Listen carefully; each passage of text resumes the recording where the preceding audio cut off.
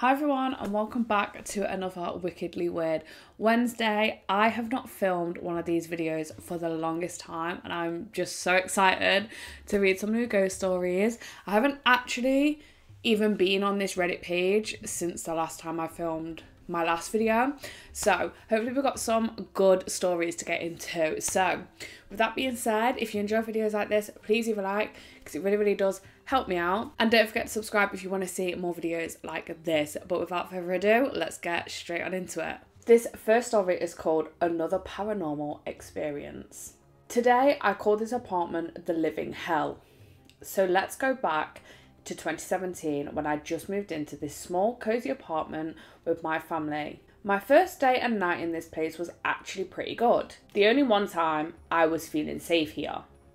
So let's move on to the second day, specifically the second night. It was exactly 12:05 a.m. when I smelled a fire smell. Oh my god, my worst nightmare. My window was open, so I thought someone was smoking. I closed it and kept smelling it for 5 minutes or so. So the time is now 10 past 12 a.m. Keep the hour in your head. I went to sleep an hour later and got woken up at 2 a.m. because of a noise in my room near my bed.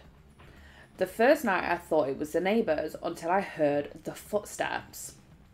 You can tell when the footsteps are from above you or in your room, and those were definitely next to me. I was feeling insecure and I kept hearing noises. Every single night till we left, I'd hear noises, always from 2 am to 3 or 4 am. But I would also smell fire every single day Remember the time? 12.05 every night up until 10 past 12. It was never earlier and never later. It was at the end of my bed, but I was not the only one in my apartment. Every night, no matter who got up to go use the bathroom, you could always smell something, starting in the kitchen and going through the corridor and stop exactly at my door. My whole family could smell something that smelled like rotten meat. It would sometimes smell in the day, but mostly in the middle of the night. The smell makes us feel nauseous. We tried to call someone to see if there was an explanation, but no one could give us a reason for the smell. I started to feel sick because I couldn't sleep at night. I ended up asking my friend to come and sleep at my place. She's also a paranormal believer and she was scared shitless that night. I first asked her because I thought nothing would happen if she was here, but I was wrong. We were watching a funny movie when we started hearing the noises. At least I know I was not going crazy. We tried to think about something else, but we soon had a big jump scare. It was 2:15 a.m. and we heard a massive noise in my room. I turned on the light very quickly to see my heavy jewelry box on the floor there was no reason for it to fall like this because it was very heavy.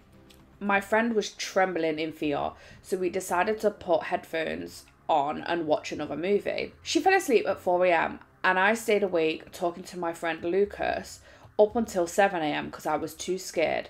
We moved maybe a week later. When I moved in my actual house, I did some research. I typed my last address and found an article about this place, and I was in shock. A couple of years before we moved into this place, there was a fire, and a young woman who was only 23 unfortunately passed away in the apartment. The kitchen caught on fire and she couldn't escape. Suddenly, it all made sense. The fire smell in my room and the nauseous smell in the kitchen.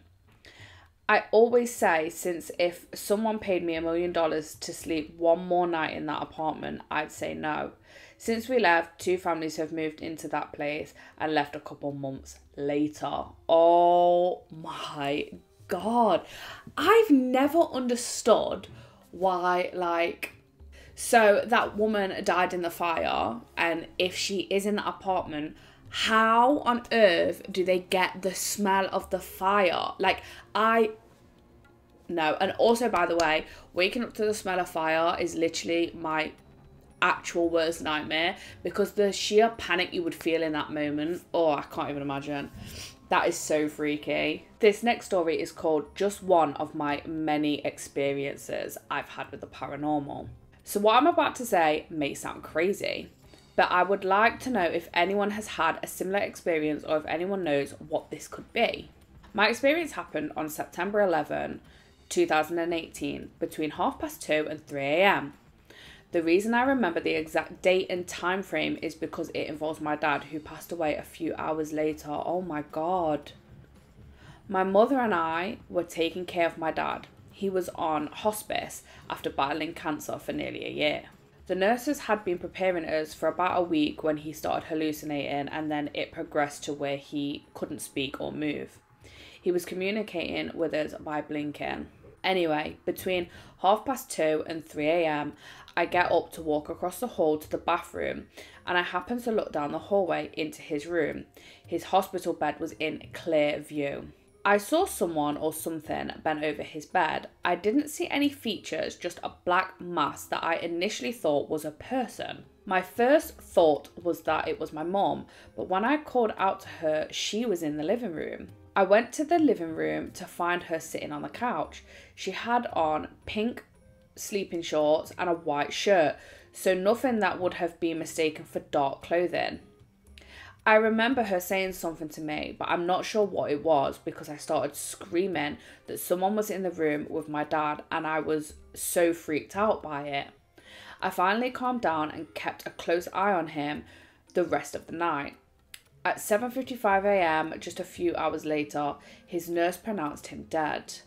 We actually called her around 6 a.m. when we noticed that his breathing began to slow down, but it took her a while to actually get to the house the thing, whatever it was, leaning over his bed still scares me because the room he was in always had a negative feeling for me and my brother.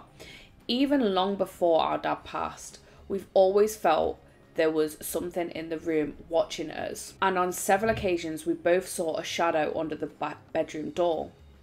Like someone was standing on the other side. As it turns out, our mum had also witnessed things involving that room that freaked her out. The only reason my dad's hospice bed was in that particular room was because it was the only room big enough for all of his hospice equipment bed lift to get him out of bed, wheelchair, oxygen machine, etc. That room still gives me a bad feeling, and after witnessing that, I started talking to my mom about it, and we realized that before and after that, anyone that stayed in that room for extended periods of time would have changes in their personalities. They would become withdrawn, angry, and aggressive. They'd go back to being themselves the longer they were away from that room. I've witnessed several family members pass away over the years, but I've never had an experience like this. It still freaks me out, and I have no idea what that could have been leaning over his bed. What the hell? First of all, I just quickly want to say I am so so so sorry for your loss. That is actually so heartbreaking. Um but I don't even know what I would do if I saw something leaning over someone's bed and you know your mind always goes to oh no it's so and so like in this instance it's my mom. And then she's just in the front room. Oh my god. I would you run back in the room? Because i don't know if i'd be able to. I don't know. Oh my, that is honestly the freakiest, scary. I've actually got like goosebumps. No, no, no. I don't know what I would even do in that situation. Oh my god, got the heebie-jeebies.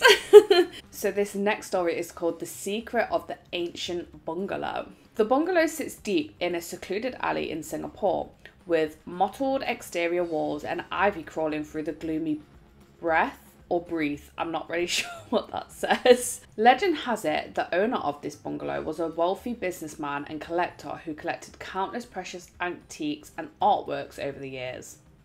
But since his bizarre disappearance, the bungalow has been empty and has become a haunted house in the eyes of the locals. A young man full of curiosity about mysterious events accidentally heard of the legend of this bungalow and decided to go in and find out.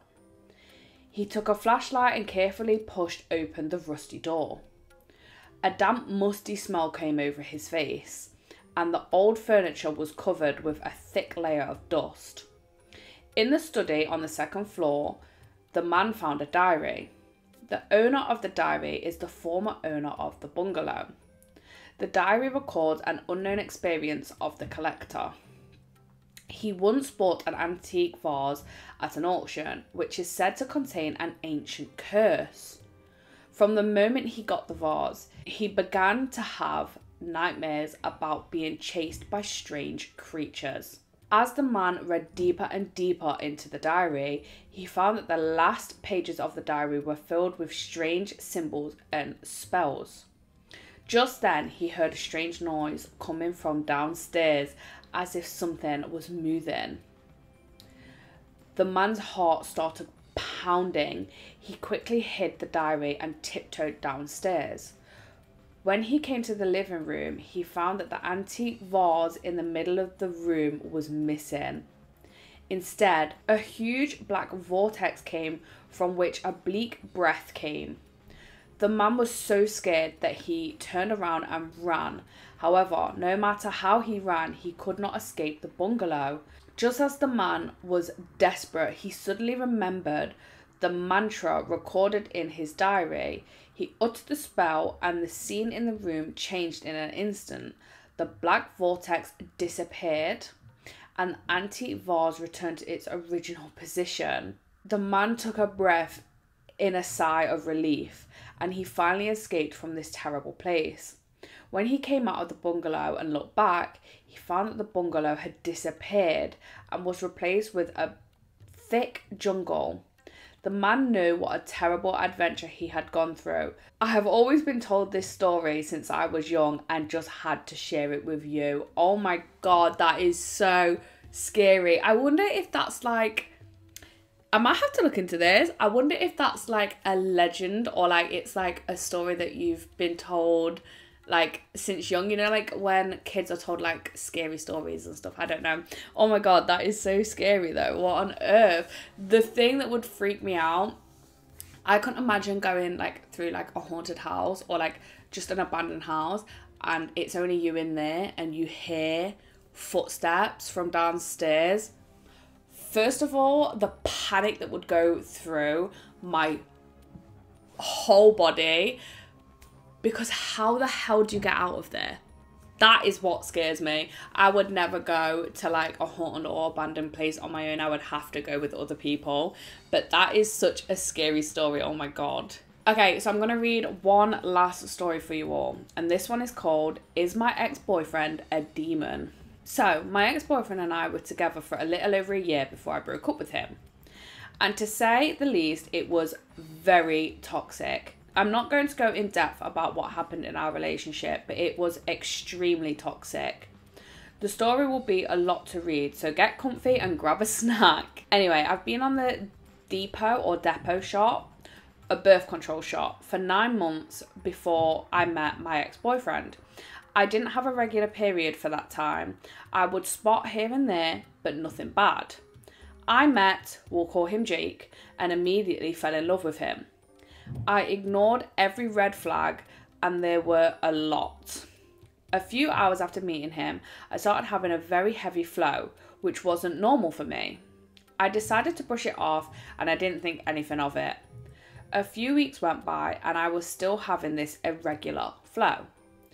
I didn't want to go to the doctor because I didn't have health insurance due to how expensive it is now, but I did go for birth control. About a month goes by, I started having terrible acne and couldn't find a way to get rid of it. I tried everything in the book. So basically, my body was rejecting him from the start and I had no idea. About a month and a half after I broke up with him, I went to another town to party with some of my old friends. I ended up getting pretty drunk, having a blast, and I got super tired. We were all at a beautiful two story house about 200 years old on this big piece of property about 20 minutes from the nearest main road. I told my friends that I'm going to take a 30 minute nap downstairs and that I will be right back. I was told not to sleep downstairs because it creeps everyone out. Now, this house always gives me bad vibes, like there is something wrong with the house, like something bad was in it. I was pretty drunk and I wanted to just go to bed, so I went downstairs. I laid in the bed on my left side and I rolled over to my right side to grab the blanket. as I'm doing this, I'm in a weird trance-like state. I don't really know how to describe what happened next, so please bear with me. I fully roll onto my left side with the blanket in my right hand, tucked under my chin with the top of the blanket halfway down my arm. I felt someone spooning me, but it was hot, not warm, hot. I slowly look over my right shoulder and I see Jake's face and body turn into a demon looking thing. While this was happening, I couldn't move. I could only move my eyes and I saw the light turn on and I heard pots banging together. It was my friends trying to wake me up. I can see the room clearly and all of my friends moving and talking. Jake's eyes remained the same as if he was his normal self, and I can see them out of the corner of my eye. He tilts his head up and he looks at me with a stare that I will never forget. He took his hand and grabbed my shoulder. I saw his hand and his yellow, broken nails. Keep in mind, he was all red and bloody. I could see every little detail. Everything went black, and I woke up in a pool of sweat. And my friends was asking me if I was okay. I got up, drove home, and never looked at that house again. I will say that I haven't told anyone because I'm terrified. I haven't been the same since. I don't have any more feelings for this man at all. About a week after this happened, my bleeding stopped and I haven't bled since. It's been about two months since this has happened, and I still think about it to this day. I can't forget about it, and I do believe in God. Anything helps. Thanks for reading. Thank you all for sharing your thoughts and feelings. I have come to the conclusion that I think there was most definitely something evil in that house, and it took advantage of me being very intoxicated and used my own fears against me. Oh my god. Can you even imagine? Oh my god, no. First of all, I can't imagine being asleep and then just feeling someone's body behind me, but then to feel someone's body behind me and it just be so hot, like like I'm guessing from what she's saying that it was like a not a normal body temperature hot, like oh and then oh my god to turn around and see someone's actual face and then them just turn into this like demonic looking thing all covered in blood. Oh my god. I won't be able to sleep on my own from then onwards. I would literally have to have someone be with me. I'm not going to sleep. Oh my god that is so scary. I am so sorry you went through that. Oh heebie jeebies Um, but yeah, I think I'm gonna end it there because I feel like that's a super freaky story to end it on. I really hope you guys enjoyed today's video. If you did, please leave a like. It really, really does help me out. Let me know in the comments if you have any scary ghost stories yourself. You can send them me on Instagram or leave them in the comments or uh, send them me on Twitter or X, but I'm not gonna lie, I don't really use that app. um, but yeah, that's just a few ways you can get them to me. You can do them in a voice note. Um, you can write it out in like story form. I don't mind. Um, but yeah, please let me know your stories because I love hearing ghost stories. And yeah, if you want to see more videos like this, don't forget to subscribe so you don't miss when I post Wickedly Weird Wednesday videos, obviously every Wednesday, but just when I post normal videos in general every Monday, Wednesday, and Saturday. And with all that being said, thank you guys so much for listening to all these stories and spending some time with me today. I really, really do appreciate it. I hope you have a lovely rest of your day, and I will see you in the next one. Bye, guys.